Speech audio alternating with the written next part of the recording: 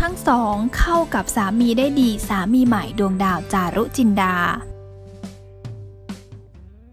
ดวงดาวจารุจินดาค่ะเข้าสู่วงการบันเทิงนะคะ ตั้งแต่อายุ 5 ขวบจากการเป็นนักแสดง ภาคภาพยนตร์นะคะ ครั้งแรกจากภาพยนตร์ ซึ่งเธอให้เสียงภาคเป็นขอใจนริศประชา พออายุ 21 ปีค่ะก็หันมาภาคหนังอย่างจริงจังและรับหน้าที่ภาคเสียงให้นักแสดงด้วยล่ะค่ะ ซึ่ง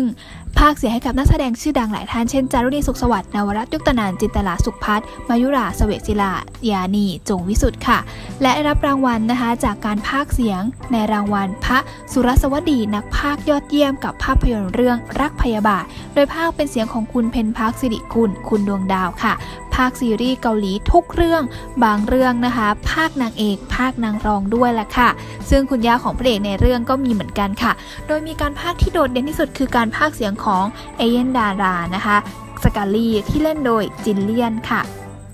ซึ่งในซีรีส์ด้านการบันเทิงเคยรับบทนางเอกจากหนังเรื่องแรกที่เธอนะคะ ที่เธอมีพ่อเป็นผู้สร้าง คือเรื่องที่ชื่อว่ามนรักชาวไร่แต่ไม่ประสบความสำเร็จค่ะหลังจากนั้นจึงได้รับบทเป็นนางรอง หรือว่านางร้ายตลอดมา ช่วงแรกยังไม่ได้มีการสังกัด ก็จะเห็นผลงานเธอทางช่องหลากหลายช่องในบทนางร้ายเช่น นางทาสช่องน้อยสีที่เธอรับบทเป็นสาลีค่ะ โดยมีอีทรัชนูบุญชูดวงเป็นนางเอก ต่อมาช่องหลากสีนะคะชวนไปภาคหนังชุด จึงเป็นที่มาของการพบกันของเธอกับหน่องพลากรสมสุวรรณจึงเกิดสัญญาใจในการเล่นละครนะคะ ให้ช่องหลากสีตั้งแต่ปี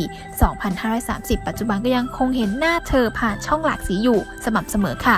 นับผลงานละครที่เธอร่วมกันกับช่องหลากสีนะคะ ได้ประมาณกว่า 80 เรื่องค่ะ ดวงดาวเคยใช้ชีวิตร่วมกับสายันจันทรวิบูลย์อดีตนักแสดงบทตลกคลื่นเพลงซึ่งปัจจุบันอาศัยอยู่ที่ลอสแองเจลิสซึ่งมีบุตรด้วยกัน 2 คนคือ คุณพสินจารุจินดานะคะ แล้วก็ตะวันจารุจินดานั่นเองค่ะ หลังจากหย่ากันเธอจึงหันมาใช้ชีวิตคู่กับพลากรสมสว่างซึ่งปัจจุบันดำรงตำแหน่งรองกรรมการผู้อำนวยการใหญ่สถานีโทรทัศน์นะคะ